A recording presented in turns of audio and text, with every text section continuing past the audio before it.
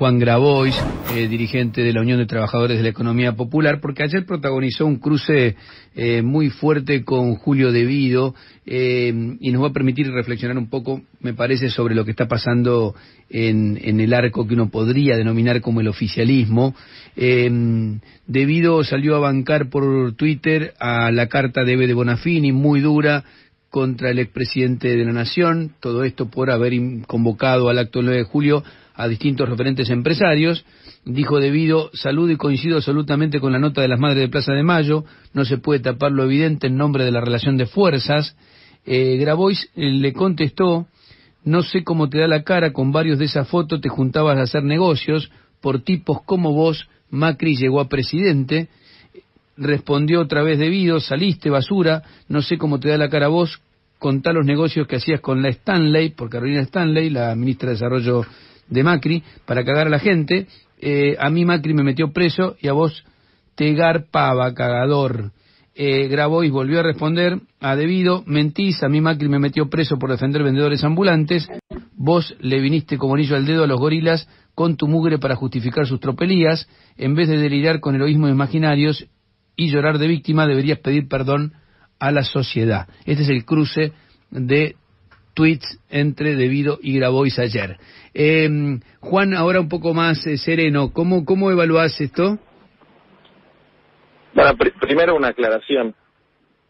Las cuestiones políticas yo no las hago como dirigente de, la UTEP ni de ningún movimiento social, ¿eh? porque si no, digamos, se degrada o se desvirtúa la, la, discusión, lo hago a título personal o como referente del Frente Patria Grande. Segundo tema, yo que, que yo sepa, debido no es parte del Frente de Todos, no sé, no lo tengo muy claro. Eh, por lo menos cuando yo hablo de un nosotros, no incluyo a debido. Y me pareció oportuno eh, hacer esta, contestarle de esta manera y, también plantear, que, también lo planteé públicamente, de que es un momento particularmente delicado en la Argentina donde se están definiendo cosas muy importantes como para eh, permitir estos oportunismos. yo creo que debido representa una forma eh, de contubernio entre el Estado y las empresas, que es lo que hay que eh, desterrar. Creo que quienes luchamos por la justicia social tenemos que ser eh, implacables con cualquier atisbo de corrupción o conducta corrupta y creo que debido representa a eso, desde mi, punto de vista, eh, son sectores que hay que extirpar del campo político que enuncia la justicia social como principal bandera porque lo que tenemos son nuestros principios éticos para respaldar lo que queremos hacer por la gente. Y eh, me parece un oportunismo vil en un momento donde el gobierno atraviesa serios desafíos, entre ellos uno que, sacando la cuestión del COVID, la catástrofe social que existe, etcétera, se está definiendo la negociación con los acreedores y que cualquier pequeño cambio en los términos de, del acuerdo son miles de millones de dólares para la Argentina, donde hay una ofensiva de los fondos de inversión para mm, debilitar al gobierno y poder arrancarle más, más guita, donde se está jugando también un tema fundamental que es eh, la aplicación del marco regulatorio que Cristina y Evo Morales lograron llevar a las Naciones Unidas en el 2015 y que establece que con una mayoría calificada de acreedores el acuerdo de Serga Omnes, es decir, con toda esa ensalada que hay, eh, me parece que no hay que dejar pasar oportunismos como el de debido, que la verdad hay que tener la cara de piedra para él criticar cómo se relaciona el presidente con los sectores del poder económico. A mí me puede no gustar, pero bueno, después sobre lo que dice de mí, mmm, no, no, tampoco me interesa demasiado defenderme, digamos, cualquier dirigente social eh, tiene la obligación de sentarse a, negociar con quien sea que esté en el gobierno, me guste o no me guste, porque nosotros representamos los intereses materiales y cotidianos de la gente. Desde luego que eh, yo me tengo que sentar con el ministro de quien sea, de Alfonsín, de Menem, de Macri, de Cristina, de Néstor o de Alberto, para ver que le llegue la comida a la gente en los comedores, para que se hagan las obras de integración urbana, para poder resolver algunas políticas de empleo, y la verdad estoy muy orgulloso de cómo luchamos y cómo nos plantamos durante la etapa del gobierno anterior, defendiendo los intereses que representamos. Con errores, con aciertos, pero con un saldo donde, por ejemplo, hoy, por esas negociaciones, ese juego de presión y de persuasión y de negociación, logramos sacar una ley de urbanización de barrios populares y hoy mi compañero y amigo Máximo la va a eh, levantar para que tenga financiamiento en el impuesto a, el impuesto a la riqueza. Es decir, eh, no sé de dónde sacaron algunos revolucionarios con billetera llena que cuando hay un gobierno que no es de mi signo político, los sindicatos o movimientos sociales no se tengan que sentar a negociar. Es la cosa más lógica del mundo. Así que es una chicana barata, digamos, ¿no? Lo que sí es cierto es que existe una forma de vincular los empresarios con el Estado, que para mí es una forma sucia, eh, que es una forma típica del macrismo y típica de Debido, que de, dicho sea de paso tenían varios negocios juntos, Caicaterra, digo, no, no, no, tampoco quiero seguir metiendo el dedo ahí porque, eh, porque no me interesa, pero que eh, me pareció de un oportunismo terrible. Entonces, para resumirte, te, dos, dos elementos. El primer elemento, defender al gobierno frente a esta situación, defenderlo con firmeza, y el segundo elemento, confrontar con un sector que la juega patriótico, pero que eh, sus intereses están en su billetera. Juan, acá tengo una pregunta, vos decís confrontar con un sector eh, determinado, ¿no? Eh, dio la sensación en estos últimos días que empezaba el fuego amigo, eh, por un lado, uno podría decir, bueno, si es debido, si es eh, incluso Eve de Bonafini o algunos comunicadores ultra kirchneristas, eh, podría ser algo no, tan relevante. Pero de pronto en el medio, Cristina Fernández de Kirchner retuitea una nota de Alfredo Zayat diciendo, bueno, cuestionando la, la, la, convocatoria de Alberto Fernández el otro día. ¿Crees que eh, esto es tensión entre la vice y el presidente, que esto puede generar algún ruido en lo que viene para la Argentina tan complejo? No, a ver, Cristina, es mentira que Cristina cuestionó al presidente. Cristina muy frontal. Si tiene que decir algo, lo dice sin medias tintas.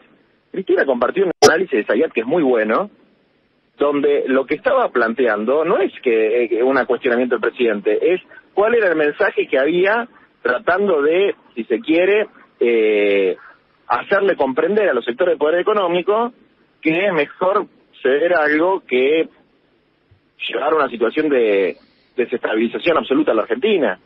Es decir, eh, no, era un cuestionamiento, era un análisis de cómo jugaban los distintos cuadrantes del poder económico, análisis que yo aparte me parece brillante y comparto, digamos.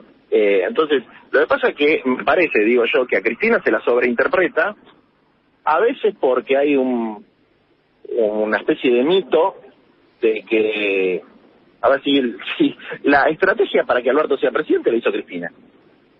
¿De qué estamos hablando? No, eso está claro, eso está claro. La, duda que persiste, porque tampoco habla con la prensa habitualmente, no se le escucha, eh, es si claramente acompaña el proceso eh, como lo está llevando adelante Alberto Fernández. Esas son las dudas que quedan. Pero obvio, obvio eh, vos pensás que con la personalidad de Cristina, si ella tuviera eh, un cuestionamiento así muy grande, primero no se lo hace directamente a él y segundo no lo dice abiertamente. No, es, mira, esto me hace acordar mucho de lo que pasaba con el Papa, ¿viste? Eh, cualquier cosa que hacía se la sobreinterpretaba de una manera eh, a, a veces ridícula. Decía A y decía y cuando decía A era porque no sé no, no quiero tampoco darle títulos Está bien, yo, te entiendo, a, nadie, pero ¿se entiende el, concepto? Te entiendo lo que no, decir. No, no es verdad, esa sobreinterpretación es, es un error. Y es un error cuando lo hacen los que tienen mala leche de un lado, los que tienen mala leche del otro, y los que no tienen mala leche, pero tienen pensamiento propio, eh, están buscando pistas en los grandes referentes para definir una orientación en sus planteos, y bueno, eso me parece que es una mala forma de este, formar a la militancia, hacer política, digamos, cada, uno tiene que tener su propio pensamiento y, eh, y, colectivamente elaborarlo para poder eh, defender mejor al país, ¿no? Eh, quizás podría despejar las dudas, eh, Cristina, con, con, un, con un gesto, con una declaración. Pero por, ¿por qué ella tiene que, ella cualquiera, por qué tiene que despejar las ficciones que crea el propio periodismo. Es una cosa muy parecida al, a, a, Francisco, se, prácticamente le exigía que salga a decir que cuando yo hablaba no, no hablaba él. ¿Por qué tiene que salir a decir eso? digamos, ¿por, qué le, ¿por qué tiene que darle entidad? ¿Por qué tiene que...? No, no, no, no estoy de acuerdo con eso yo tampoco. Digamos, ella no tiene, ella no generó ninguna duda. Ella compartió un análisis, hay que leer lo que compartió. Sí, bueno, pero si vos haces solamente ese gesto y no hay ninguno de los otros, eh, también la interpretación pues, es válida.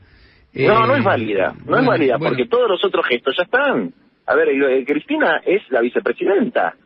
Cristina eh, es la que armó la estrategia para derrotar a Macri no, eh, eh, hay un montón de ministros y de funcionarios importantes en el gobierno. Te voy a decir algo que, no, es, para debatir mucho. También contribuyó a la llegada de Macri con algunos errores eh, graves en su gobierno, ¿no? Yo no creo que haya sido responsabilidad de ella particularmente. Puede ser que algo haya tenido, pero ah, ah, creo que hubo personajes que, que sí contribuyeron y que son personajes que en esta nueva etapa y en una y en una Argentina eh, que, que, busque un camino de justicia social no tienen más espacio como Julio de Vido, digamos, ¿no? Eh, eh, que por suerte no están más en el, no están más en el mapa. Leíste el comentario y tratan de... arponear cuando ven una oportunidad, cuando ven un poquito de sangre, ¿no? Como los tiburones van van a van a la sangre. ¿Leíste el tuit de Agustín Rossi? Me pareció muy bueno, sí. ¿Eh? que dijo desde mi lugar de militante, le digo a mis compañeros y compañeras que hoy la tarea más importante es bancar a Alberto con corazón y con cabeza, por historia, por futuro, simple y contundente. Eh, bueno. Me pareció muy bueno, mucho mejor que el mío. Pero ¿te imaginas, ¿te imaginas un tuit así de Cristina Kirchner no despejaría las dudas? Es que Cristina tiene su forma, tiene su estilo, hay que respetar a la gente. Yo, digo, cada cual tiene su estilo, pero en, en un contexto como este, eh, no sé, Fíjate si eso lo hubiera firmado Cristina Kirchner.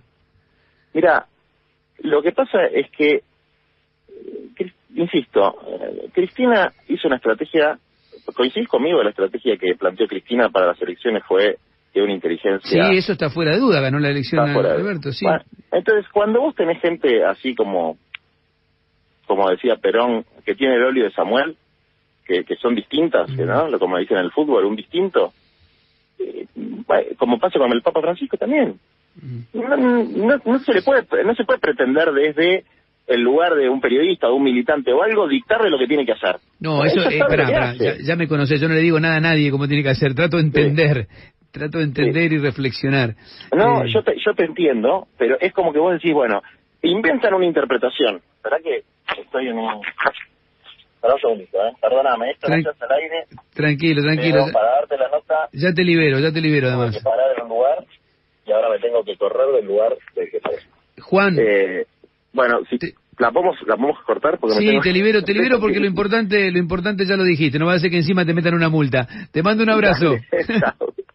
un abrazo. Juan Grabois, eh, dirigente de eh, la Unión de Trabajadores de la Economía Popular, hablando en carácter personal, que es algo que aclaró en varias oportunidades. Me permitió meter el, el tuit, el comentario de, de, Rossi también, que me parece que tiene algo de significación por el peso político que tiene dentro del peronismo.